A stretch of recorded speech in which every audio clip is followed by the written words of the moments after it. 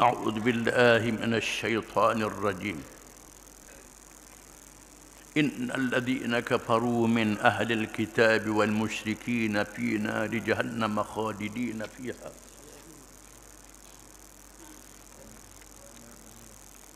وما أمروا إلا ليعبدوا الله مخلصين له الدين حنفاء.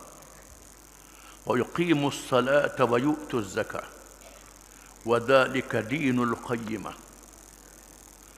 إن الذين كفروا من أهل الكتاب والمشركين في نار جهنم خالدين فيها. أولئك هم شر البرية. إن الذين آمنوا وعملوا الصالحات أولئك هم خير البرية. جزاؤهم عند ربهم جنات عدن تجري من تحتها الأنهار خالدين فيها أبدا. radhiyallahu anhum wa radu an dzalika liman khasyya rabbah.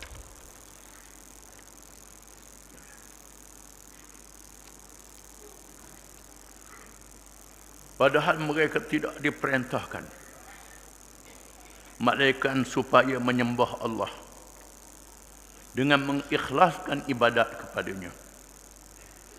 Lagi tetap teguh di atas tauhid. Dan supaya mereka mendirikan sembahyang Dan memberi zakat Dan yang demikian itulah agama yang benar Sesungguhnya orang-orang yang kafir dari ahli kitab dan orang-orang musyrik itu akan ditempatkan di dalam neraka jahanam. Kekalah mereka di dalamnya. Mereka itulah sejahat-jahat makhluk. Sesungguhnya orang-orang yang beriman dan beramal soleh, mereka itulah sebaik-baik makhluk.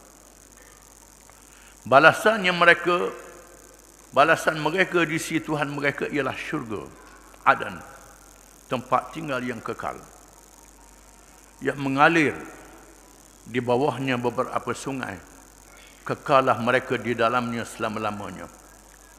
Allah redha akan mereka dan mereka pun redha serta bersyukur akan nikmat pemberiannya balasan yang demikian itu untuk orang-orang yang takut melanggar perintah Tuhannya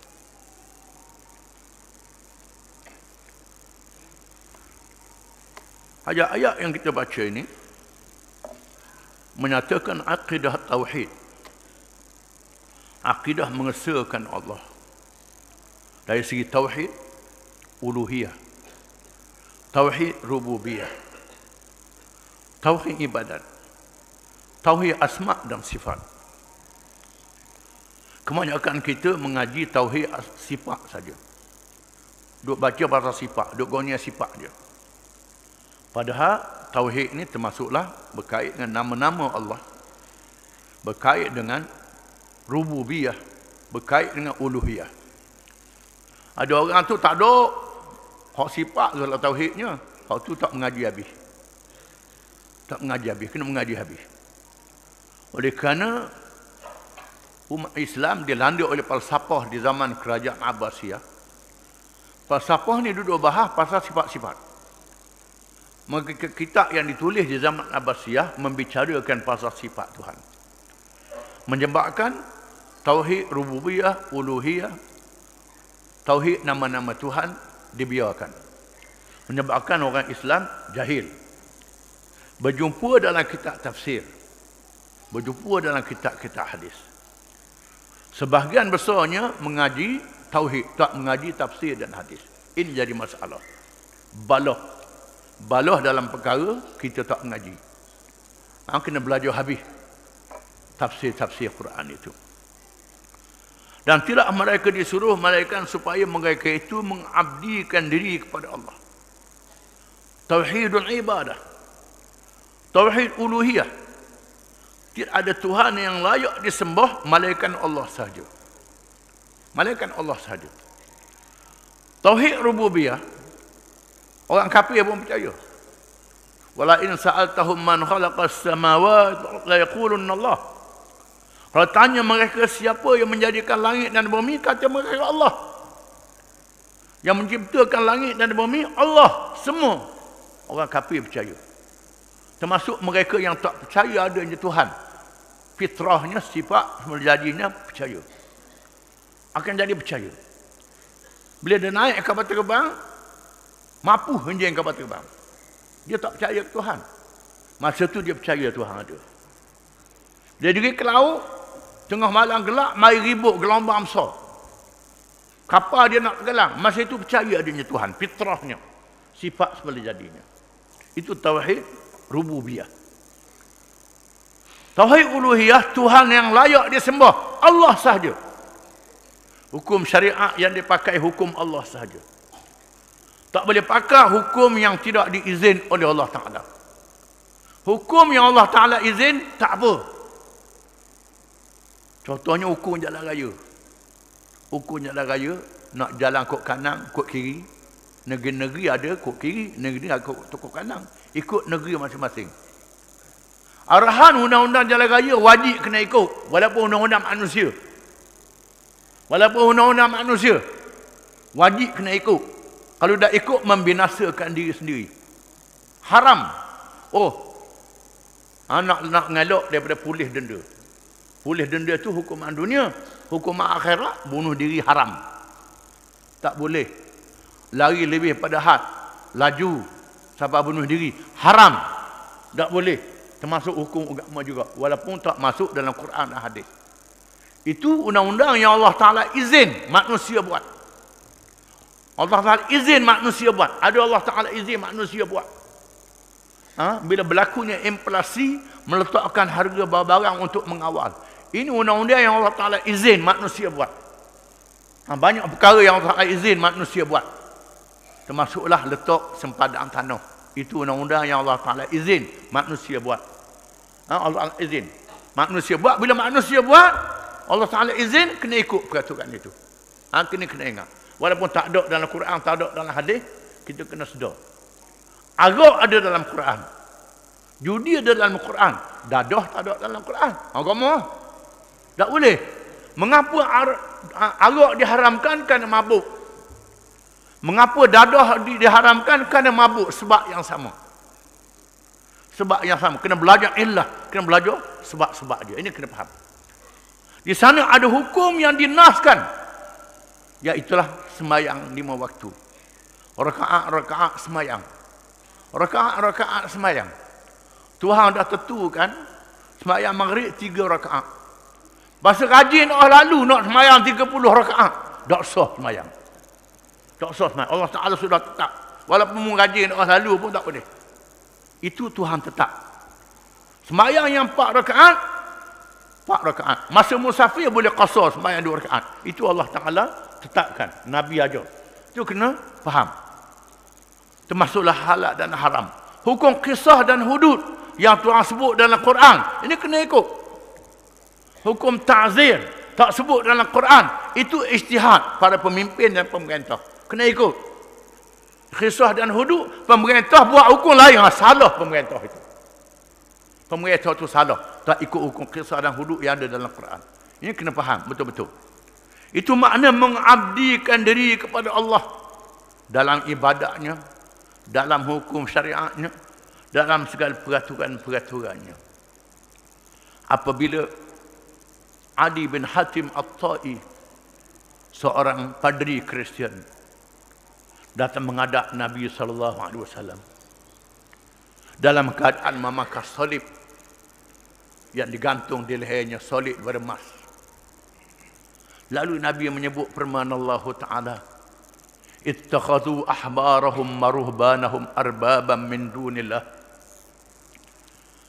mereka itu orang-orang Kristian melantik padri-padri mereka dan pendeta-pendeta mereka Tuhan yang lain daripada Allah. Kata Adi bin Hatim, Wahai Muhammad, kami sembah Allah juga. Kami tak sembah padri-padri dan pendeta-pendeta kami. Kata Nabi, mempakai hukum yang padri pendeta kamu buat. Lain pada hukum Allah. Sudah ada hukum Allah, manusia lagi buat. Tolak hukum Allah. Pakai hukum manusia. Itu makna kamu melantik Tuhan-Tuhan yang lain daripada Allah. Kata Nabi. Ha? Lalu Nabi tanya-tanya, akhirnya Adi bin Hatim masuk Islam. Adi bin Hatim masuk Islam, menjadi seorang Islam. Menunjukkan bahawa tauhidul ibadah jadi maksud di dalam ini. Tauhid uluhiyah tak ada Tuhan yang layak disembah malaikat Allah Taala. Dengan hati yang ikhlas, hati yang ikhlas ni tak ada riak, tak ada ujub, tak ada sum'ah. Ini perbahasan ilmu tasawuf. Ibadat dengan ikhlas, jangan tunjuk-tunjuk ke orang. Derma kerana Allah Ta'ala. Jangan kerana nak suruh orang puji. Itu riak. Menyebabkan tak boleh pahala. Mesti dengan hati yang ikhlas. Semua ibadat kena ada niat. Innama la'amalu bin niat. Wa innama likulli mri'im ma nawa. Faman kanat hijratuhu ila Allah wa rasulih. Fahijratuhu ila Allah wa rasulih. Faman kanat hijratuhu lidunya yusibuha. Aw imratin yaqiha fahijratuhu ila ma hajara ilaih sesungguhnya segala amalan itu dengan niat semua amalan dengan niat bagi tiap-tiap seorang mengikut apa yang dia niat. Barang siapa yang berhijrah dari Mekah ke Madinah kerana Allah dan Rasul. Dia boleh pahala kerana Allah dan Rasul. Barang siapa yang berhijrah kerana perempuan yang hendak dikahwini atau dunia yang dia kehendaki maka hijrah dia, dia mengikut niat dia tu. Tak boleh pahala hijrahnya itu hadis ini berkait dengan muhajir Ummu Qais ada seorang yang masuk Islam berhijrah kerana nak kawan perempuan perempuan bernama Ummu Qais berhijrah dia ikut sama orang hijrah kerana Allah dan Rasul dia hijrah kerana ikut orang puan hijrahnya tak ada pahala Maka hadis ini menjadi dalil. Semua ibadat mesti dengan niat. Mesti dengan niat. Mesti dengan niat. Ulama-ulama bahas pula. Bahas pula niat tu kena ada di mana. Yang kata, Qasdu syai'in muqtarinan bifi'alih. Qasak nak buat sesuatu perkara, buat lalu. Kata mazhab syafi'i. Mazhab lain kata, dulu sikit pun apa. Dulu banyak pun apa, mazhab lain kata. Ini khilaf ulama. Oleh kerana kita mazhab syafi'i, menyebabkan siapa jadi waswah mayang. Nak hadir niat ni. Allah, siapa habis nafas. Nak hadir. Pada puasa, niat puasa tunggu masuk subuh ke tak? Niat puasa.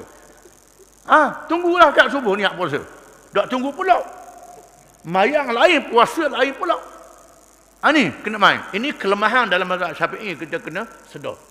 Dengan sebab itu jangan waswah dalam masalah niat ini. Boleh pakai mazhab lain tak jadi salah. Kalau mari nyakit waswah doa lalu, waswah ni syaitan. Imam Malik tok guru pada Imam Syafi'i. Ha. Imam Hasan Asy-Syaibani anak murid mazhab Hanafi tok guru pada Imam Syafi'i. Imam Ahmad bin Hanbal anak murid pada Imam Syafi'i. Syafi'i kata begini, Imam Malik kata begini. Imam Abu Hanifah, Muhammad bin Syaibani anak murid Abu Hanifah, guru bagi Imam Syafi'i kata begini. Ini khilaf antara ulama-ulama, jangan waswah. Jangan waswah. Baloh dalam bab niat pun dah. Siapa nak utuh masjid baloh. Oh ni kata kena ada dalam roh, tak dia lepas pada roh kena dulu pada apa tak boleh. Mazhab Syafi'i pun khilaf. Imam Ghazali mengatakan kalau niat itu dulu pada Allah Akbar. Soh kata Imam Ghazali. Ha? Eh, kata Imam Ghazali. Mengikut ha? mengikut kita Al-Hawi. Ha? Yang ditulis oleh ha? Al-Mawardi. Ini khilaf. Ulama-ulama syafi'i khilaf sama-sama dia. Oleh kerana kita duduk mengaji satu satu kitab. Duduk bahas. Duduk bahas pasal niat. Jadi was-was sembahyang. Tu Imam nak baca patihah dah.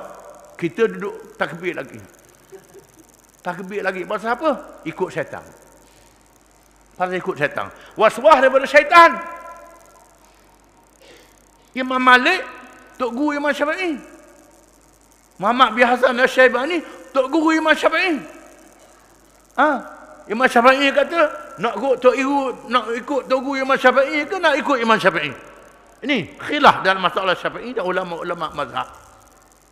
Ha? Imam Malik kata, semua cakap-cakap manusia boleh diterima dan ditolak kecuali mereka yang ada dalam kubur ini. Inilah yang dibahas oleh ulama yang penting ialah mukhlisina lahuddin. Ikhlaskan Allah Taala dalam amalan. Masalah niat duduk mana, duduk mana, duduk mana, itu perbahasan khilaf di kalangan ulama. Jangan was-was. Semua ulama boleh ikut belaka. Mana fa asaba falahu ajran wa man ijtihada fa akhta falahu ajrun wahid. Barang siapa yang berijtihad kalangan ulama, ijtihad dia betul, boleh dua pahala. Barang siapa yang berijtihad, ijtihad dia salah, boleh satu pahala. Barang siapa yang ikut was-was, tak ada pahala. Ikut aswah tak ada pahala. Mandi wajib siapa nak habis sekolah hai. Mandi wajib. Bong-bong kilo hai ke kau. Tak ada lagi duk rasa kering macam. Itu penyakit setan. Basuh kaki itu penyakit setan. Mukhlisin lahuddin ikhlas kerana Allah Taala. Baginya sahaja untuk diabdikan diri dan semua urusan kehidupan kita. Hunafa agama yang bersih daripada syirik segala bentuk kekotoran wa yuqimus salah dan mereka mendirikan sembahyang wa yu'tuz zakah dan mereka menunaikan zakat wa dzalika dinul qayyimah itulah agama yang betul orang Islam dikenakan zakat orang Melayu zakat ni terus je lain pada terus tak ada eh? Pakai lembu sampai 100 ekor, kubah 100 ekor tak ada zakat. Sebab dia belajarnya terus je. Padahal ada zakat ternakan, ada zakat pertanian, ada zakat harta, ada zakat galian, ada zakat perniagaan, ada zakat. Zakat diwajibkan pada orang Islam. Jadi rukun Islam. Zakat. Orang kafir tak wajib zakat. Orang kafir dikenakan cukai. Orang kafir dikenakan cukai. Cukai jizyah Cuka menjaga keselamatan diri dia dipanggil jizyah. Oleh kerana dia tidak ditegah, dikerah tenaga untuk keselamatan negara. Dia bukan Islam, tak dia wajibkan pada dia. Maka dia kenakan jizyah. Dia bayar jizyah untuk semangan keamanan dan keselamatan. Ini makna jizyah. Kita Jawi kata jizyah ni cuka pada. Terjemah cuka pada pula sebab orang kafir takut. No. Itu kita tak Jawi zaman dulu. Cuka kepala, Orang kafir dia kena kancurkan kepala. Macam kerak kepala. Itu salah. Jizyah ni makna jazak. Jazak makna kita memberi keamanan kepada dia. Dia duduk dalam negara kita, dia boleh meniaga, boleh hidup. Bebas beribadat cara agama dia. Tak diwajibkan kerahan tenaga. Kalau berperang tak diwajibkan. Maka dikenakan jizyah. Sebagai sumbangan kepada menjaga keamanan dan keselamatan. Bila dia dia masuk dalam tentera juga. Bila orang kafir masuk dalam tentera, tak dikenakan jizyah. Dia sudah berkhidmat untuk negara, tak dikenakan jizyah lagi. Begitu juga zakat-zakat yang lain. Ha? Begitu juga orang kafir tak diwajibkan zakat. Diwajibkan kharaj. Diwajibkan usyur. Kharaj ni ialah cukai tanah. Orang Islam dikenakan zakat pertanian. Orang kafir dikenakan cukai pertanian iaitulah kharaj cukai tanah. Dan dikenakan usyur cukai perdagangan. Orang Islam dikenakan zakat perniagaan. Zakat tak boleh dihapuskan. Zakat tak boleh dihapuskan. Cukai boleh dihapuskan. Ah sedap orang kafir pula dah? Cukai boleh dihapuskan. Bila sumbangan zakat cukup harta negara cukup maka tak dikenakan cukai pada orang kafir. Di sini menyebabkan orang kafir masuk Islam. Orang kafir masuk Islam. Dia tengok mana Islam ni bagus. Masuk Islam orang kafir. Learning macam mana mereka? Kata Islam. Orang Islam kena zakat, kena cukai. Dua-dua sekali gomo. Ah, ini Islam lagu apa? Ini pembahagian. Orang Islam zakat adalah ibadat. Hukum Islam. Orang kafir tak ada ibadat. Dia kenakan cukai kepada mereka. Menyebabkan orang kafir masuk Islam. Bila orang kafir masuk Islam, zaman Khalifah Umar bin Abdul Aziz yang memerintah dengan adil. Menyebabkan gubernur dia mengadu. Gubernur dia mengadu. Mengadu wahai Amirul Mukminin, orang kafir banyak masuk Islam, cukai jadi kurang. Pusing pula dah dia. Pusing. Bin tulis surat pada gubernur itu ha, kepada Amir bin Umar bin Abdul Aziz kepada gubernur dia Inna Allah ba'atha Muhammadan da'iyan walam yab'athu jabian wassalam. Ha? adilta am uzilta? Wassalam. Surat Umar bin Aziz. Daripada Umar bin Abdul Aziz kepada gubernur Allah Ta'ala mengutuskan Muhammad sebagai pendakwah bukan sebagai pengunuk, pengunuk, pengunuk cukai sama ada mu adil atau mu dia pecat kata Sayyidina Umar Umar bin Aziz mu nak adil ke mu kena pecat ha, dia marah orang masuk Islam cukai kurang Allah Ta'ala utuhkan Muhammad menjadi pendakwah bukan menjadi pemungut cukai. Ha? Sama ada mu adil ataupun mu dia pecat surat je. Ha?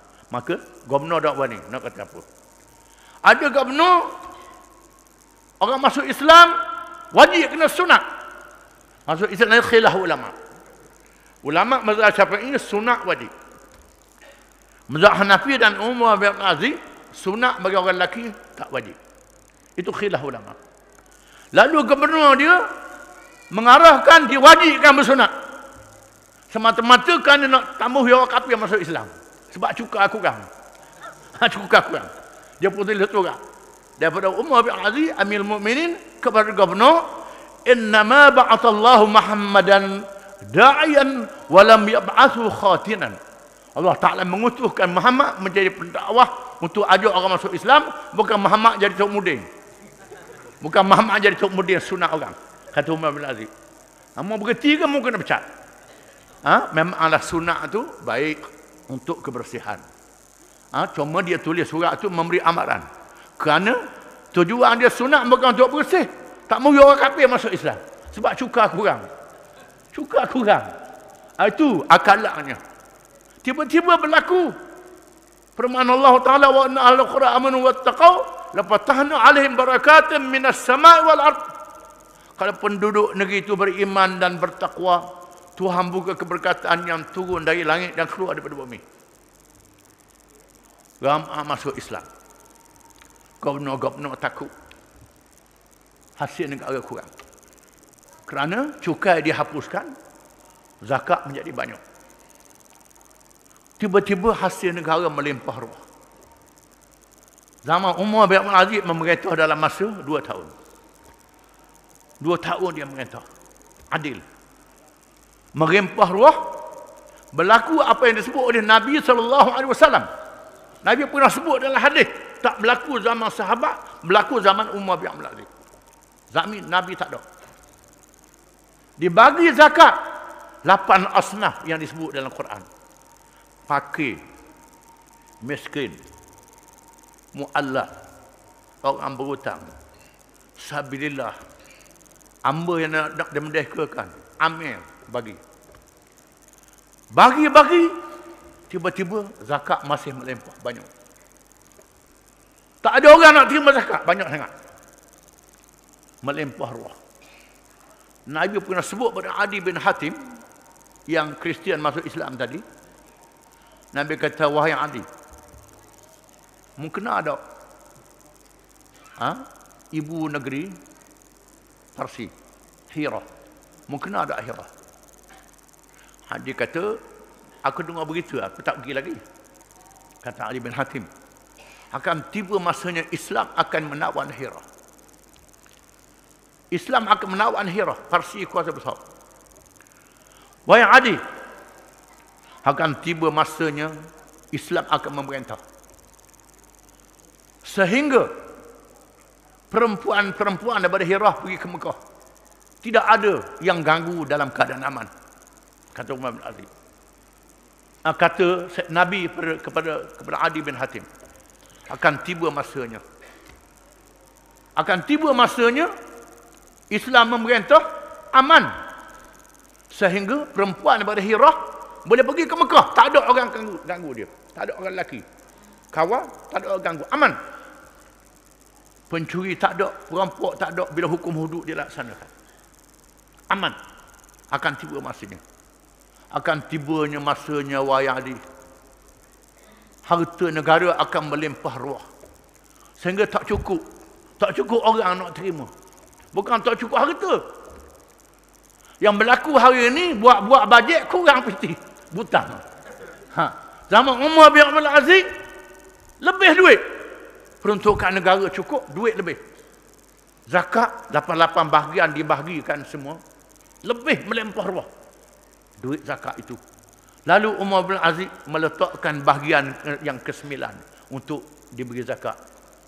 Mencari mana-mana orang muda yang tak kahwin.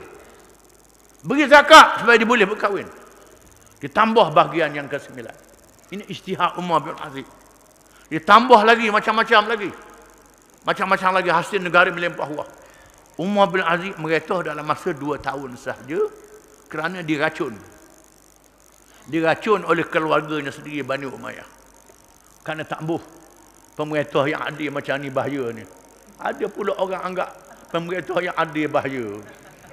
Ha, zaman lain ada juga pasal lagu tu. Dia nak hak jahat. Nak hak jahat, hak menipu. Hak menipu, hak beri pitih ke dia menipu. Ha, tu dia naknya, hak adil dia tak buh. Dia racunnya Umar bin Aziz. Ini berlaku zaman Umar bin Aziz. Jadi orang kafir masuk Islam. Sehingga ha, cukai dihapuskan. Kerana harta negara dah cukup melimpah ruah. Banyaknya harta negara. Ini berkat daripada zakat. Nabi kata, Zalika dinul qayyimah. Itulah agama yang betul. Agama Islam. Bila Islam memerintah, orang ramai masuk Islam. Tengok Islam tu adil. Tengok jalan yang dilalui oleh Islam beranak. Agama lain beranak. Orang masuk Islam. Sama ada melalui perang. Iaitulah Parsi, Syria dan Syam, Turki, sampai ke Asia Tengah dengan perang. Lepas perang, penduduk tinggal. Askar tinggal. Tinggal dua tiga orang jadi gubernur. Yang jadi gubernur ni nak nak nak cubit telinga boleh. Dua tiga empat orang dia merintah. Rakyat terima. Adil. Dan rakyat masuk Islam beramai-ramai. Apa yang disebut jalan sutera hari ini daripada Baghdad sehingga sepadan negeri Cina. Siapa masuk Cina, Singkiang. Habis orang Islam berlaku. Masuk Islam. Termasuklah ahli-ahli pelayaran. Daripada Hadramaut, Belaya, selatan India. Sampai ke alam Melayu. Ke alam Melayu ni, Malaysia, Indonesia, Filipina, Brunei, sebahagian daripada Thailand, sebahagian daripada Vietnam, Kemboja, Islam. Kerajaan campak Islam. Bukan dengan perang. Dengan dakwah. Dengan dakwah. Orang tengok Islam ni ada, Islam ni baik. Hari ni pula, orang tengok Islam ni ganah pula. Siapa dia? Kadang-kadang jahat orang kafir dan bodoh orang Islam. Orang kafir jahat, orang Islam bodoh. Ini jadi masalah kita. Orang kafir memang jahat, kerja dia lawan Islam. Orang Islam pula bodoh. Semayang tak apa erti, berjihad tak erti, pergi haji tak erti. Tak erti belaka. Semayang ikut dang. Ha? Ikut dang semayang. Itu pula pergi haji. Orang suruh melotor dengan batu besar seliking, melotor dengan lipa. Ha, tak pergi haji, bodoh. Hak berjihad pun bodoh. Berjihad bunuh siapa dia? Bunuh orang Islam. Bukan bunuh Yahudi. Sunni bunuh Syiah, Syiah bunuh Sunni, Sunni bunuh Syiah, Syiah bunuh Sunni. Duk berlawan pasal mazhab. Sunni dengan Syiah ni, bahawa siapa layak jadi khalifah. Abu Bakar ke Sayyidina Ali. Sayyidina Ali mati dah. Abu Bakar mati dah. Nak korek mula. Nak latih mula. Duk perang pasal tu. Ini tak ada pasal-pasal. Saya pergi ke Iran, saya bersyarah di Iran, saya bersyarah ke, ke Iran. Mudah bahas dia nali dia jadi khalifah. Ada lagi boleh boleh korek mula. Boleh korek mula naik atas tanah latih jadi khalifah boleh. Ha, dia pakat suka belaka. Apa apa dia, dia tahu. Ha itu dia. Ha, itu dia. Kita duk bahas pasal ni. Hak ni pula duk bahas pasal. Ha biarkan Israel, biarkan Amerika, biarkan ha, itu ini dia. Alhamdulillah tempat kita ni dok tajam, dok tajam sangat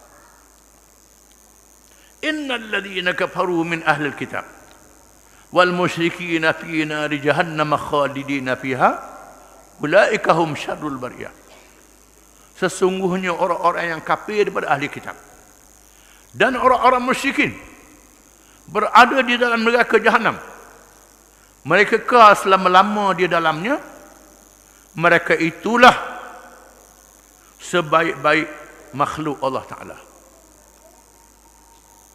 Ah, mereka itulah sejahat makhluk Allah Ta'ala. Bukan sebaik sejahat makhluk Allah Ta'ala.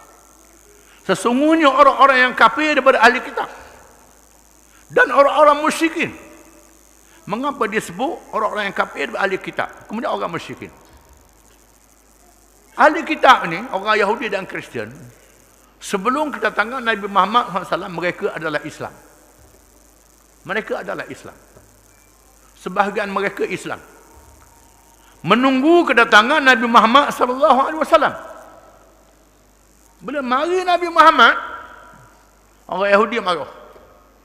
Marah pasal Tuhan tak latih bangsa Yahudi jadi nabi. Dia nak suruh Tuhan pula dah. Macam dia pula Tuhan. Kau pada Tuhan lah nak latih sama dia. Itu hak Allah Ta'ala. Bukan hak bangsa-bangsa menentukan siapa latih jadi Nabi. Nabi ni bukan latih macam latih raja dengan presiden. Raja latih ikut keturunan. Allah Ta'ala boleh latih ikut keturunan dan boleh latih siapa-siapa dia sahaja.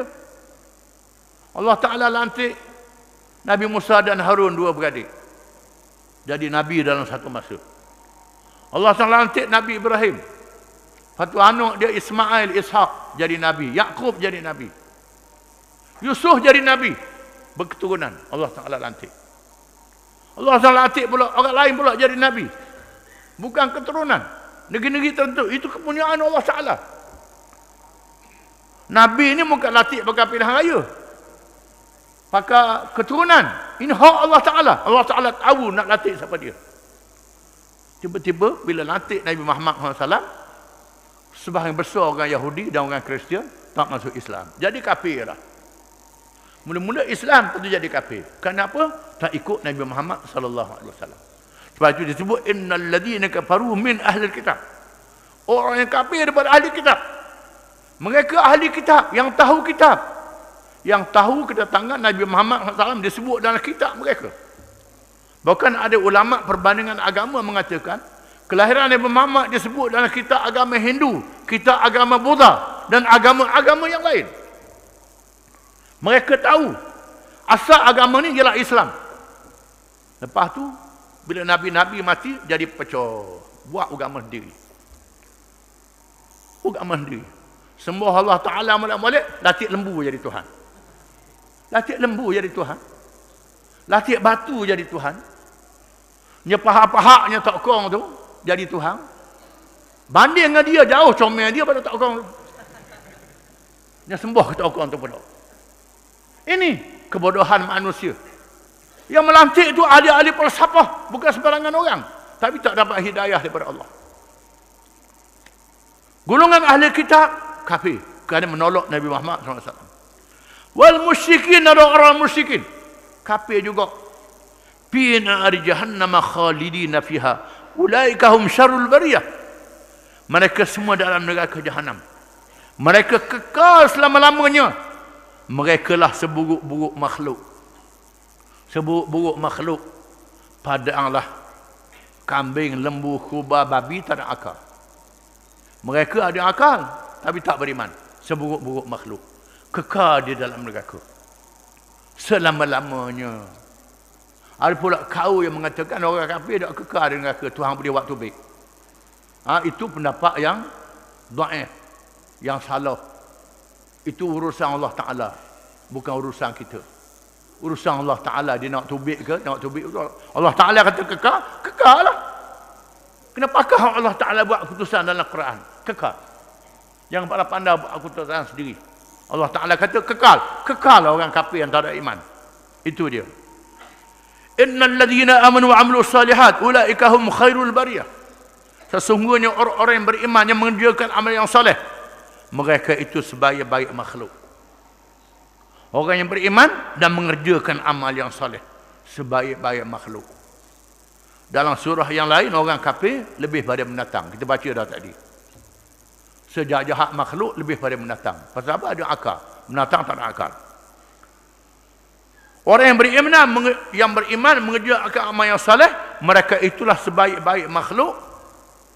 Jazaohum 'inda rabbihim jannatu 'annin tajri min al-anhar khalidina fiha abada. Balasan mereka di sisi Tuhan mereka. Ialah syurga-syurga adan yang mengalir di bawahnya sungai-sungai. Mereka kekal selama-lamanya dalam syurga itu. Kekal selama-lama dia sebut dalam hadis bukan saja kekal dalam keadaan yang muda tidak tua dah. Tak tua dah. Boleh dibangkitkan semula dalam keadaan umur 30-an muda tak tua dah mari seorang perempuan menghadap Nabi SAW Nabi kata la tadkhulul jannata ajuz Nabi kata orang tua tak masuk syurga Nabi kata orang tua tu nangis apa tu Nangis ya Rasulullah. Nangis dia. Nangis isak-isak. Nabi kata, mu masuk surga. Bila mu masuk surga, mu jadi muda. Muda. Tak tua dengan surga. Hamba Allah suka dia. Perempuan tu. Ha, Nabi pula kata dia masuk surga. Ha, hebat ada dia. Hebat. Ini soalan yang soleh. Mereka kekal selama-lama dalam surga itu. Kekal selama-lama dalam surga. Tidak ada penyakit lagi. Tak ada panah dalam surga dalam suasana yang sederhana mala ainun ra'at wala udhunun sami'at wala khatara ala qalbi bashar barang yang belum pernah ha? yang belum pernah didengar dengan telinga dilihat dengan mata tak terlintas dalam hati manusia disebut dalam hadis ahli syurga yang paling rendah kedudukannya Tuhan kata mau fikir nak mana Mu nak ayat mana? Nak istana ke nak apa nak ayat mana? Dia pun fikir. Fikir, fikir, fikir. Ha. Ha. Pergi. Ha, fikir lagi. Ha, nak ayat mana? Ha. Nak ayat mana? Ha. Fikir, fikir. Ha, fikir, fikir lagi. Ha, nak ayat mana? Fikir lagi. Ya Tuhan ku tak ada upaya dah. Itu dia. Sekurang-kurang nikmat ahli syurga. Ha? Nikmat ahli syurga. Tetapi dalam kehidupan dunia ini, manusia kalau diberi lembah satu lembah yang penuh dengan emas dia nak lembah yang kedua penuh dengan emas sehingga disumbat tanah dalam mulut baru dia puas hati Nabi kata dalam syurga lain ceritanya kekal selama-lamanya radhiyallahu anhum wa radu'an Allah Ta'ala redha kepada mereka dan mereka redha kepada Allah. Dzalika liman khasyi rabbah. Dzalika liman khasyi rabbah. Itulah dia balasan kepada orang-orang yang takut kepada Allah Ta'ala. Dengan mengikut segala perintah dan meninggalkan segala larangannya. Wallahu